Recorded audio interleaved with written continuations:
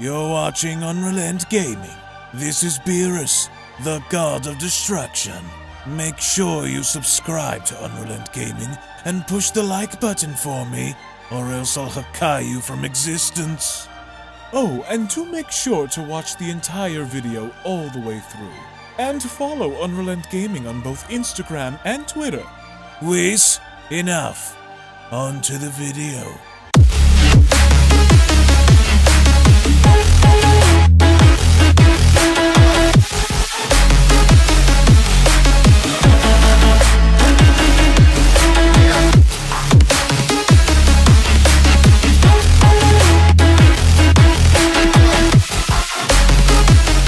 So the topic of the upcoming 2002 Dragon Ball Super movie has created a lot of conversation within the Dragon Ball community in getting people from all around the world in discussing, theorizing, and speculating as to what this movie could possibly be about, in which many of you guys were a part of that, as of course you guys can see on your screen. On one of my previous videos, I went in depth on discussing why I believe the concept and possibility of introducing Cooler in Dragon Ball Super would to me be the absolute best choice, especially if you want to revamp one of the previous Dragon Ball Z villains but at the same time, a lot of you guys have been discussing and throwing out ideas of either including Perfect Cell, or perhaps including Bojack, Super Android 13, Janemba, Hirudegarn, Garlic Jr., and because of this, we all went in depth in having a conversation in discussing what we would like to see and or do in the movie, as here today, myself and Dragon Ball YouTuber Emosh are going to be further discussing the idea of whether or not the concept idea of Cooler or any other Dragon Ball Z villain would actually work in this upcoming movie, and more specifically to see what you guys have to say say down in the comment section below. As of course, before we dive any further into this video, if you are in fact new to this channel and want to be kept up to date with everything in regards to this upcoming Dragon Ball Super movie and the Dragon Ball Super manga as a whole, as well as many other things, then I do encourage you guys to go ahead and smash that subscribe button, give this video a big fat thumbs up as well by slapping that like button down below if you guys are simply stoked, ready, and excited not only for the Dragon Ball Super manga, but also this upcoming Dragon Ball Super movie because we all know the Dragon Ball Super never ended because if that were to be the case, then we would have never have gotten anything from the manga and practically anything from the Dragon Ball Super Broly movie, but this is going to be a little different. So Akira Toriyama promised us that two things. Number one, that they're planning on upscaling this movie in being bigger, badder, and more impactful than anything the Dragon Ball Super Broly movie was, and number two, there's going to be an unexpected character who's going to play a very big role. Now, on my previous video, we discussed Cooler and why I think Frieza should go to Cooler and basically kind of ask him to lend him a hand in exchange for something only to get rid of Goku and Vegeta because let's be honest here, Frieza can't do it. Frieza cannot do it by himself, especially now if we consider that this upcoming Dragon Ball Super movie is going to take place after the Granolah arc, right? Goku and Vegeta now are too strong. We have Goku who is able to go into Mastered Ultra Instinct at will, and we have Vegeta who is able to literally erase someone with the power of Hakai. So, what I wanted to ask you, Emosh, as well as everyone else in the comment section below, is the concept idea of Cooler, for example, right? So, in my opinion, I am against the idea of them reusing old Dragon Ball Z villains because let's just stick with that. They're old Dragon Ball Z villains, and Broly worked. At first, I wasn't expecting Broly. I thought it was going to be someone else, and then it was Broly. They made it work. For Cooler, I think he is the only exception only because of the connection to Frieza, but if not Cooler, let's just say as an example, who would you want to see, if anything, from Dragon Ball Z? Because surprisingly enough, there are people that either want to see Hirudegarn or they want to see Janemba. Even though Janemba was a concept for Super Dragon Ball Heroes, people want to see Cell come back, which I think Cell should be Cell and just stay in hell and not have him come back because if all else, I would want something new, and I think a lot of other people would want something new, but if we had to kind of go back and redo someone, I vote Cooler. So, in your opinion, who do you think is the best possible option to include in this, if not Cooler, from the older set of Dragon Ball Z movies that you think could kind of mesh well and work in a Dragon Ball Super movie-like setting? That's so difficult to answer because it's like, I don't, I wouldn't prefer any old villain at all, like Bojack, Janemba, like none of these guys at all. Um, the reason Broly works so well, like, okay, let's establish one thing first. Whatever we see, like when we the Broly stuff first came out, when we first saw the trailer, half the fandom was like it's Broly, the other half was like it's not Broly. To the people who were like it's not Broly, once we found out that it was Broly, everyone was upset. Up until we saw the trailer. Once we saw the trailer and how good this movie is gonna look, we were like, okay, everybody had a different tune. Most of like, I would say 95% of the fandom collectively agree that this movie was going to be like the greatest thing in a long time, right? And it, and it and it did feel that way, and it was that way because the Broly movie is arguably the last piece of Dragon Ball that we've gotten that felt like a Dragon Ball product, as far as like anime and movie production is concerned, right? Because Dragon Ball Super, I mean, it has its highs, it has its ups and it has its downs, but like it didn't really feel like a Dragon Ball product. But then the Broly movie comes out and it's just like, yo, you could tell that they actually tried to put this shit together. You could tell that there's a lot of stuff that was left out, right? And even though a lot of stuff was left out, it still felt good, you know, from a storytelling perspective. The fights were good. Like it, it was a solid product. Now, as far as like why they could bring Broly back again, they could do like a Broly second coming for the same exact reason they brought him for the first one because he's popular, right? And it's like, you know, it, it wouldn't be outlandish, you know, to, to suggest that we can get like a Dragon Ball Super Broly second coming. The only issue is that like he doesn't really have anything to do. You know, what is this movie going to be about if it's about Broly? Is he training?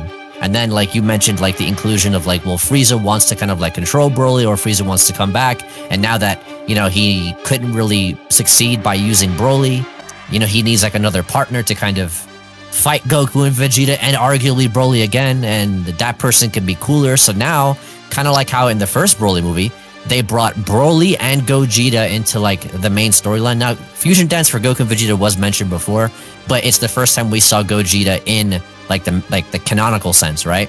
Um, so they could do the same thing, but this time they'll bring Cooler alongside of that, right? And it's just like Cooler doesn't really do anything though. That's the problem. Um, because he's not, he's never been in the story before. He can be as strong as Akira Toriyama wants him to be he can be Gogeta level. Like it doesn't matter. You know what I'm saying? The issue comes now is that there is very little incentive for Frieza to want to work with someone who is arguably stronger than he is. Okay. Um, and if the idea is for him to work with him to achieve a means, well, what is that means? Because all that does is put Frieza in a position to, uh, in a position to where he has to share the power now. That he, he's going up against Goku, Vegeta, and Broly and then he has to share whatever this W is with Cooler. That doesn't really sound like Frieza to me. And it certainly doesn't sound like Cooler either. You know what I'm saying? So it's like, well, what else is left for them to do? You're gonna have these assholes fuse too? You know what I'm saying? Like we're gonna have like a frozen cooler, like you know, it would be Kuriza, isn't it? Like, isn't it like their fusion from like Dragon Ball Fusion or something like that, Kuriza? So like you would have something like that because after Frieza saw like Goku and Vegeta fuse, he'd want to learn fusion and he would fuse with his brother. And then I don't know, like there's so many things you can do with it, right? But again, when you put Cooler into the mix, there is literally nothing for him to do. His army, the Frieza army is fodder as is. Like you have Krillin and Jaco slapping up the Frieza army from like ROF, if you guys remember that. So like what would Cooler's army possibly provide to this? Um, that's something to consider. That like they typically tend to be fodder mainly because the focal point and the limelight goes to Frieza, goes to Cooler, goes to whoever the head honcho is. So it's like if it's a, if it is a Broly second coming, what do you do? What do you do with it? Goku just trains him. It's just fighting the whole movie. The problem with Broly coming around a second time is that there's nothing for him to do. He's literally just there to be strong. He's there to make money and that's it. There's really not much to do if you're trying to tell a story. If you want to kind of like um, expand on the stuff that the first Broly movie didn't have by putting it into like the second movie. Thus, it would be like Dragon Ball Super Broly 2 or Dragon Ball Super Broly The Second Coming, and it expands on the other stuff that that, that we didn't see, like all the brother stuff. Frieza with his family, uh, you know, Raditz, uh, Vegeta, Tarble, like all these brothers, like all these all these family ties, Paragus, bro, like all all this stuff happening on Planet Vegeta.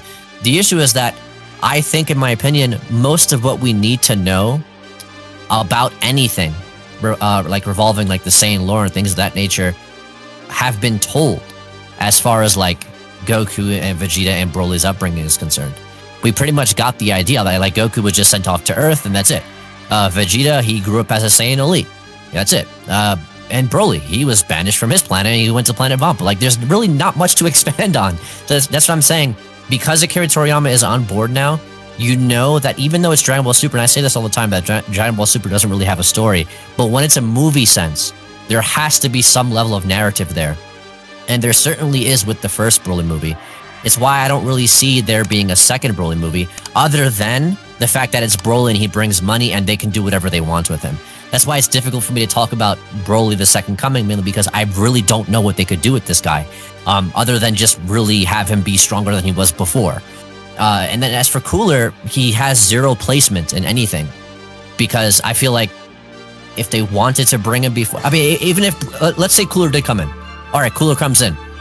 The manga's already telling a story where Frieza is like the focal point. Frieza is the limelight. He's the guy. He's responsible for a lot of the shit that's happening like that involves the Saiyans. You know what I'm saying? So it's like Cooler's never mentioned, and I know that the anime and the manga does its own thing. I've been, I'm, a, I'm a firm believer in that. Like I, that that much is obvious, but it's why I don't see Cooler ever being. If the if the manga at least mentioned Cooler once, or did something that would give us an impression to believe that okay, Cooler is alive, or something like that, and he's doing his own thing, then sure they could just toss him into a movie. But because it's not, and because Akira Toriyama, you know, does to some extent supervise the things that happen in the manga. He he approves it and things like that. You know, that's the opportunity to mention Cooler. We have an arc. The Granolah arc is centered around vengeance against Frieza. Cooler is nowhere to be seen. Frieza has always been a loner. He's always been doing his own thing, and he's given us zero impression of him requiring a partner other than Broly, right? Other than trying to control him at least. And even in that sense, he's not even a partner in that sense because he's taking control of him. So th this is why I'm saying like Frieza's partnerships are always short-lived. The Tournament of Power is a good example of this. It's short-lived because Frieza has his own ends to meet. He even works with Frost temporarily, right? But again, that's short-lived. So a lot of his things are very short-lived, and because of that, even his his partnership with Paragus, he kills Paragus pretty quickly into the movie. So again, Frieza is a loner. I just don't see him and Cooler meshing well. Sure, it's possible. They could script it. They could do whatever the fuck they want but I just do not see them meshing well because Frieza is Frieza and Cooler is Cooler, and people will have certain expectations of Cooler. I just don't see Cooler being a guy who's going to be like, I'll play along, but I'm going to give you a little surprise, you dog. You know, like he's going to be rubbing his hands together, he's going to backstab Frieza, and then Frieza's already thinking of doing the same thing, you know? And on that tower piece, you're to get a little surprise, you dog. That's, that's what's to happen. So it's like they're both gonna backstab each other, and I see you laughing in chat. They're, they're both gonna backstab each other, so it doesn't matter. I just don't I just don't see Cooler doing anything or being useful at all, other than just fan service, to be honest. And I guess that's what movies are about. They technically are about fan service, but I don't know, man. I don't think Broly needs Frieza or Cooler to be successful. So the TLDR, I guess I should have just said that. I don't think Broly, if if there is a Broly second coming, Broly does not need a Frieza or a Cooler uh, to be a successful movie. It doesn't need it because Broly by himself is already a standalone successful character. He is a market. He is a cash cow. He, him and Goku, point blank, cash cows. No, absolutely, but I think the problem here is when going back to the original Broly Second Coming movie, Broly came to Earth, he was seeking out revenge against Goku, he just so happened to have survived Kamikimori and Goku's punch to the gut, and now we have a scenario many years later that just so happens to now include Krillin, Videl, Goten, Trunks, and Gohan, and even from that narrative standpoint, Broly was crazy, he was an absolute nutjob in Broly's Second Coming to where, due to obvious plot devices, we get to see towards the end how Goku made his arrival, and of course, the rest is all history, right? The family Kamehameha, Goten, Gohan, and Goku firing this massive Kamehameha that sent Broly hurtling into the sun, and that's all she wrote from there. But in this case here, you can't really do that because what reason would Broly have now that he has Lemo and Cheelai with him on planet Vampa for him to even go back to Earth in wanting to do the same thing that we've seen go down in the original Broly Second Coming movie in Dragon Ball Z, right? It just doesn't make any sense. So I think it could stem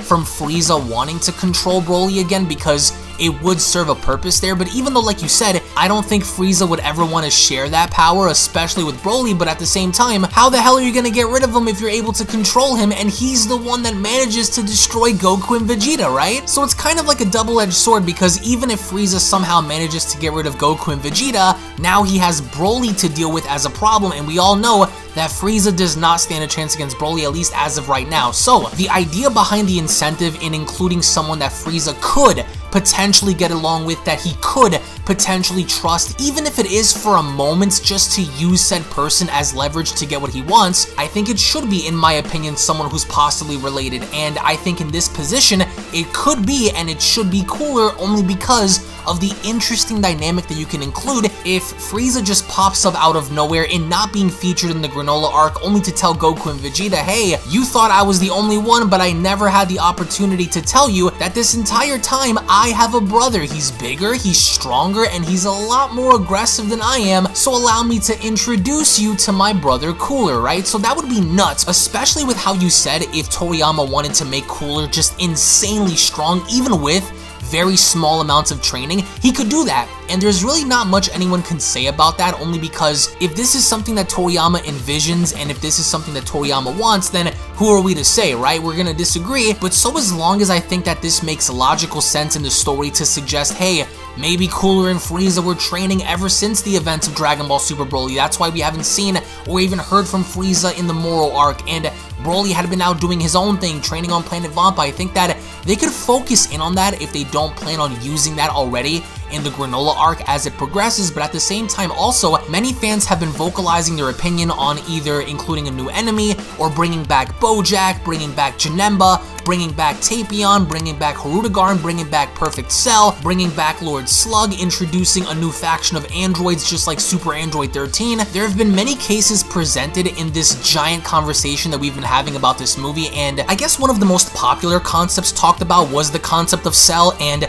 I strongly disagree with Cell only because Cell was unique to what he was, and even now in Dragon Ball Super, we had two or at least now three out of the four major villains, that being Vegeta, Frieza, Cell, and Boo, turn good, meaning Vegeta's a good guy, Boo's a good guy, and Frieza was kind of like in the middle, right? So we need someone to remain evil. I think Cell should be that person. Don't bring him back and give him a golden form, that's unoriginal. Don't bring him back and have him be a good guy, that's unoriginal. Either do something different or keep Perfect Cell Oh wait, Let's not forget, we have the seven Cell Juniors that are on Android 17's Monster Island, so maybe do something with them, have all of them fused together, and unlike Perfect Cell, they create an entirely different being that, yeah, is kind of similar to Cell, but not really. But in this case with Cooler, I stand with Cooler, but there's always, I guess you could say, that chance for them to do something completely different. They could include Lord Slug, they could include a Turles, perhaps, with the concept of the Tree of Might, which would really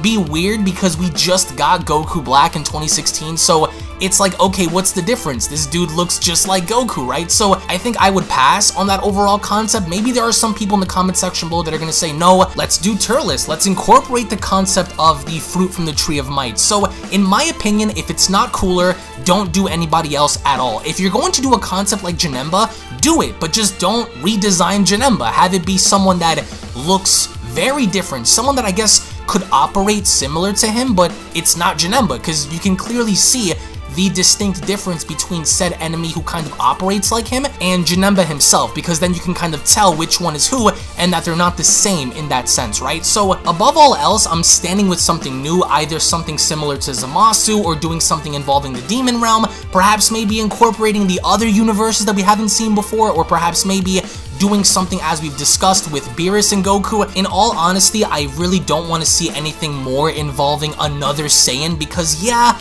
there's that possible chance of there being another rogue Saiyan out there, but for that we have Broly, right? So I guess do something with Broly if you're going to kind of dabble back into the concept of the Saiyans. I've seen discussions being held about Yamoshi, I've seen discussions being held about Universe 6. Why not do something with Universe 6? We have an entire planet full of Saiyans, right? And Vegeta had been itching to go over there, so that would be interesting to see as we've discussed on our Beerus versus Goku video, but by the end of all of this, we want to get your thoughts in the comment section below involving three specific things, that being number one, the concept of Cooler, yay or nay, do you guys agree or disagree with having to introduce Cooler in Super? Number two, if not Cooler, then I guess when looking at all of the Dragon Ball Z villains, which villain would you guys incorporate in this upcoming movie? And lastly, if it is something new that you guys want to see, what would that be? Let us know in the comment section below. Again, Thank you all so much for watching. Thank you all so much for your time. Make sure you guys also subscribe and check out Emosh's channel. He does Dragon Ball debates, Dragon Ball discussions,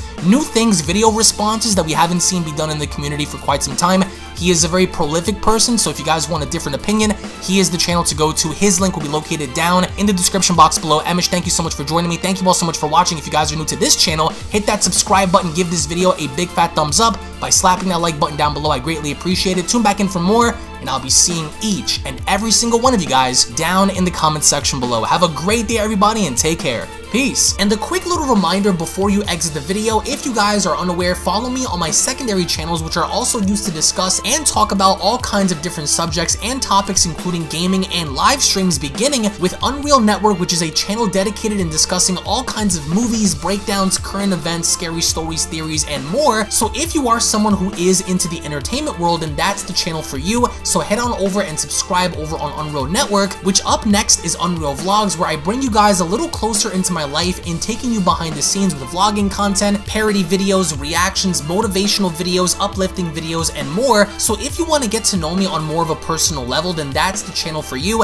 Hit that subscribe button to always be in the loop with Unreal Vlogs. And lastly, my gaming channel, Unreal Royale, where on that channel we dive more into the world of gaming, ranging from all different kinds of video games from Dragon Ball to Resident Evil to Grand Theft Auto, Halo, Gears of War, Minecraft, all kinds of horror games, shooters, RPGs, and more, including live streams. So if you're a gamer and are into the gaming world, then smash that subscribe button over at Unreal Royale and experience the ride with me. I want to thank you all so much for your time. Thank you all so very much for your support, and I'll be seeing each and every single one of you in the next video. This is the Galactic Emperor of the Universe, and of course I'm here to tell you to subscribe to UnrealEnt Gaming. Also follow UnrealEnt Gaming on these social media platforms to stay connected at all times. And if you don't, then very soon you will all be dead. oh, did someone say UnrealEnt Gaming? Oh my god. The fuck, Zarbon? Put on some clothes! Well, why don't you put on any clothes? What? I don't need clothes. but- uh, Jesus Christ, that's huge! what, Broly? Frieza, Uh-oh. prepare to die!